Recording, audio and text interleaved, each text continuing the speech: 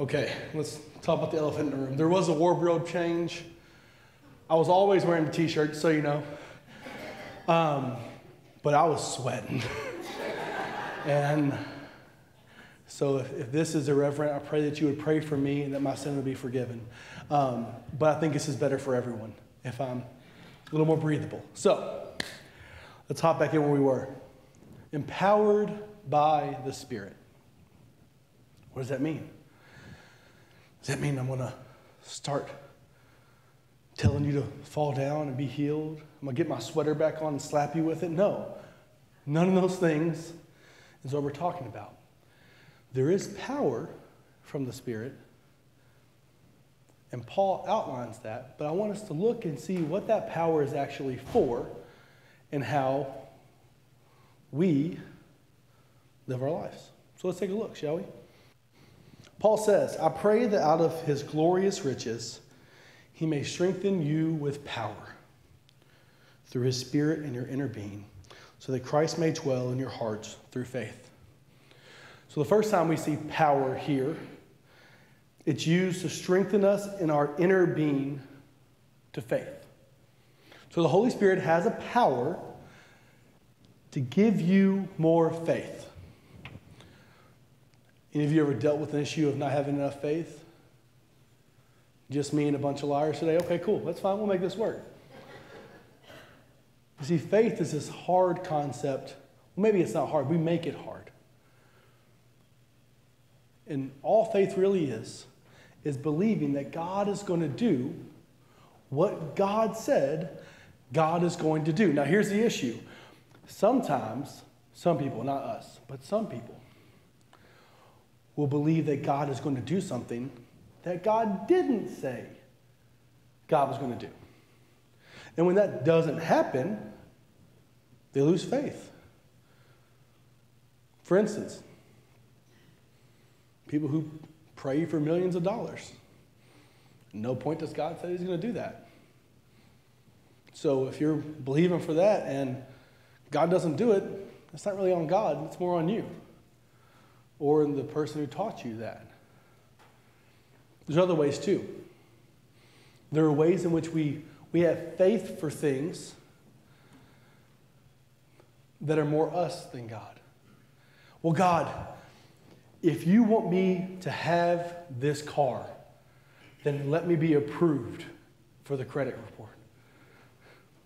Well, God, I was approved, so this must be your will. You know, the credit people are getting a little crazy right now, right? If you're alive, you can probably get a car right now. But we, we attribute these things to God. Oh, God, you, you clearly said it. Or, God, if you don't want me to go to work today, don't wake me up in the morning. Praise be to God. He wanted me to have a personal day. See, we attribute these things to God, and then sometimes those are funny things, but when the things we attribute to God like God said this, when they don't happen, then we get angry. We get upset. We walk away and say, you know what, I'm tired of that. God's not who he says he was. Truth be told, he's not who we say he was. The Holy Spirit's power in our lives can give us more faith. Here's how it works. In Scripture, Jesus says, I will never leave you nor forsake you. You will never be left alone. That's a scriptural promise that God has made for us. So, in that time when we could feel lonely, the Holy Spirit comes and lets us feel the presence of God. Wow, I'm not alone. That's how the Holy Spirit builds faith within us. That's power from the Holy Spirit. But wait, there's more. There's more in the scripture. Let's take a look. And I pray that you, being rooted and established in love, meaning that those who have known Christ and who have put their faith in Christ, may have power, together with all the Lord's holy people, to grasp how wide and long and high and deep is the love of Christ, and know this love that surpasses knowledge, that you may be filled to the measure of all the fullness of God. So, for those of us who know God, the Holy Spirit helps us know the depths of Jesus' love. The depths of Jesus' love. If there's one prayer that I could pray for you individually, knowing that some in this room have cancer, I, I see your prayer concerns. Knowing that some in this room want nothing more but to have a relationship with a child they don't have a relationship with. Knowing all the ways in which you pray. If I could pray one thing for you, it's that you would know the depths of Jesus' love in your life. That's the one prayer that I would pray for you. It's the one prayer I hope you pray for me. It's the prayer that I pray over my children that they would know the depths of Jesus' love in their life and be filled to the measure of the fullness of God. Because in Scripture, there is no greater miracle. There's, there's no greater miracle in Scripture than a person who's been fully transformed by knowing the depths of Jesus' love in their life.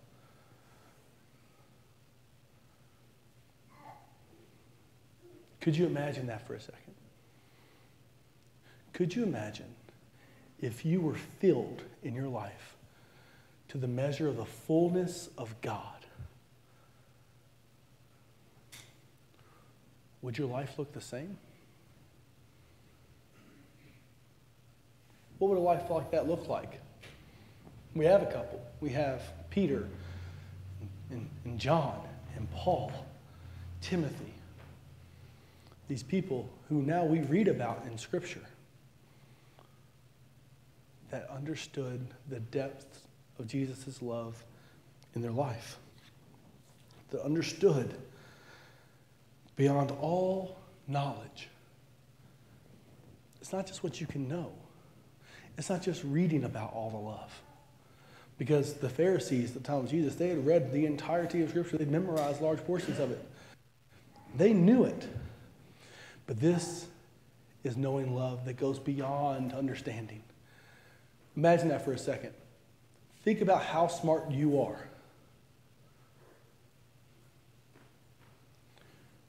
In loving and knowing Jesus beyond that point. This is intuitive, it's instinctual, it's solely experienced.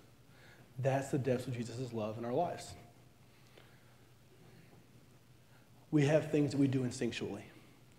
When my daughter Chloe and I are walking, I walk like, hi, buddy.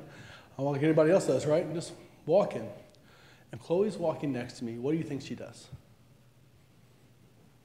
She grabs my hand. It's my daughter. I'm her father. Without even thinking about it, she has not put thought into, I should grab dad's hand. It's just a, because in this, there's safety, there's love, there's comfort. I know that when I have dad's hand, that even if I'm not paying attention, he's not going to let me walk out in front of anybody.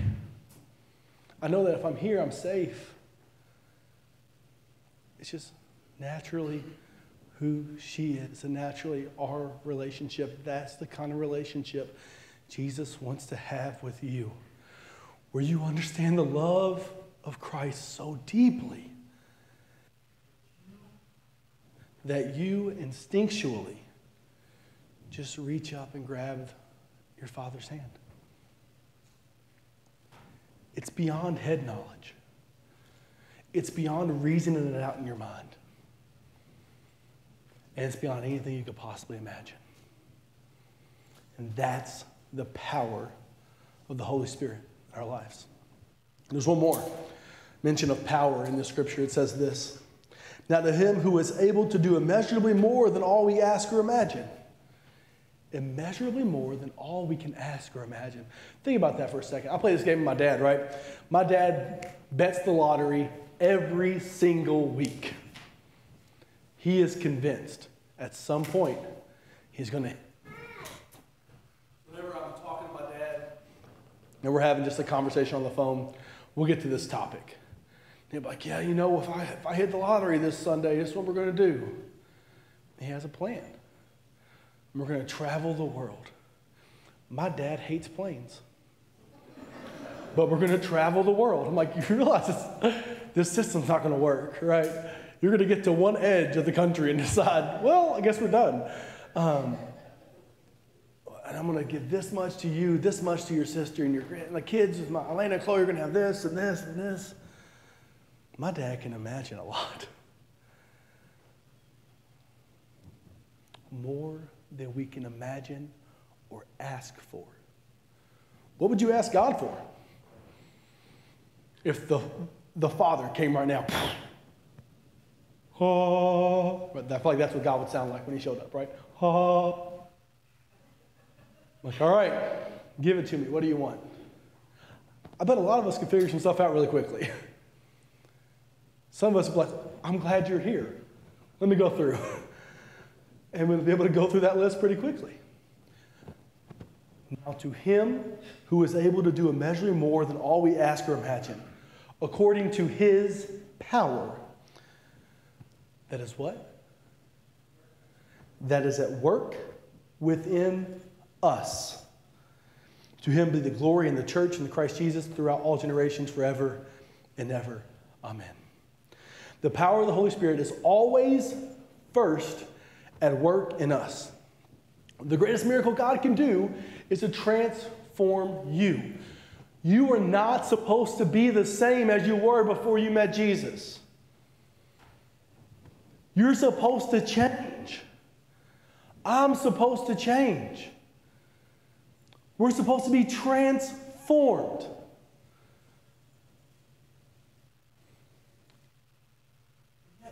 We always just want to talk about the other stuff. You know what? I'm going to do this. This on? Does that work? There we go. Because it keeps dropping off, and I want you to hear this, right? I want you to get it. So often, when we want to see God work in our lives, it's never in us. It's, it's never in us. Lord, help those people. Lord, help them. God, if you could just change that person's life, if you could just break their chains of addiction, if you could just change how they view our family, if you could just change how this person acts at work, if you can just change literally anybody else but me, God, my life would be so much better. The power of the Holy Spirit always, always first works within us. If you're looking for something outside, before you have a transformation inside, you're going to get frustrated. But you're in good company because God's also frustrated with you. We're supposed to change. We're supposed to be transformed. The Holy Spirit works within us. When we have faith, we know the depths of Jesus' love. That's what, that's what the Holy Spirit wants us to do, right? Wants us to have faith, wants us to know the depth of Jesus' love in our lives. And then we get to dwell with God. We get to go back to Genesis, back to where we're walking with the Father in the garden, back to when we're sharing our entire life with God. That happens. That dwelling with God happens through the power of the Holy Spirit. That's what it means to have a spirit filled life. To have a relationship with God that is so yielded to Him that He comes to us and dwells with us in intimacy and in power so we can experience in life all the things that Jesus promised the Holy Spirit would do for us. This only comes through the transformation that happens within us.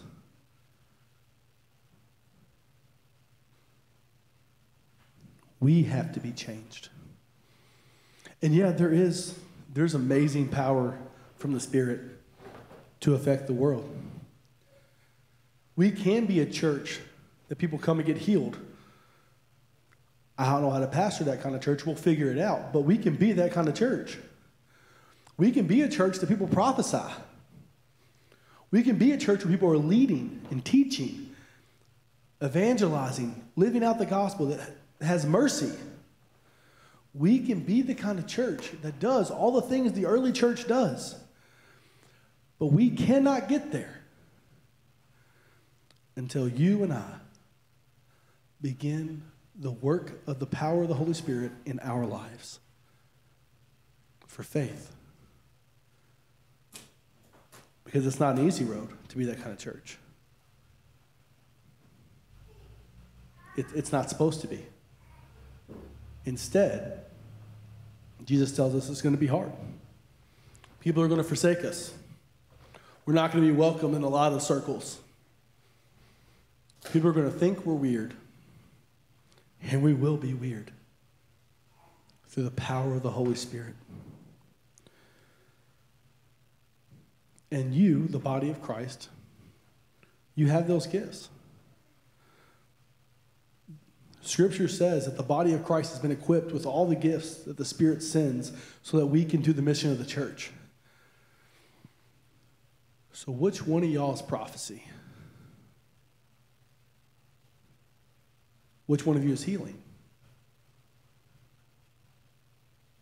Who's supposed to be the one that's going to teach? Who's the one that preaches the gospel? I'll give you a hint. That's not all me.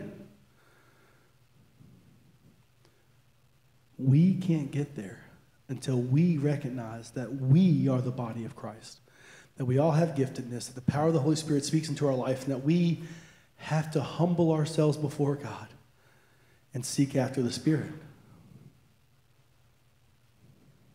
So, do you want power? Not economical, political, or hierarchical power, but the power of the Holy Spirit. If you don't want it, don't ask for it. It's that simple. If, you, if you're sitting here thinking, man, this guy's weird, I thought this was a Methodist church. Methodists don't talk about the Holy Spirit.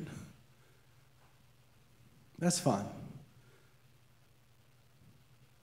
But if you want to live a transformed life, if you want to live a life of power, a life of faith, a life that fully understands the love and depth of Jesus' love in your life, And you got to pray for it. You got to ask for it. You got to want it. It's like everything else in your life that you ever wanted in your life, you have to work for it. But when you come 10, the Holy Spirit comes 90.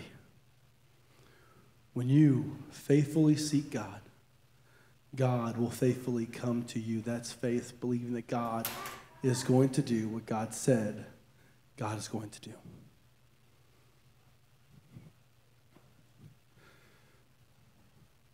So, once again, let me read this prayer from Ephesians chapter 3. Paul says, For this reason I kneel before the Father, from whom every family in heaven and on earth derives its name. I pray that out of his glorious riches he may strengthen you with power through his Spirit for your inner being, so that Christ may dwell in your hearts through faith. And I pray that you, being rooted and established in love, may have power together with all the Lord's holy people, to grasp how wide and how long and how high and how deep is the love of Christ, and to know this love that surpasses knowledge, that you may be filled to the measure of the fullness of God. Now, to him who is able to do immeasurably more than all we can ask or imagine, and according to his power that is at work within us, to him be the glory in the church and in Christ Jesus throughout all generations, forever and ever. Amen.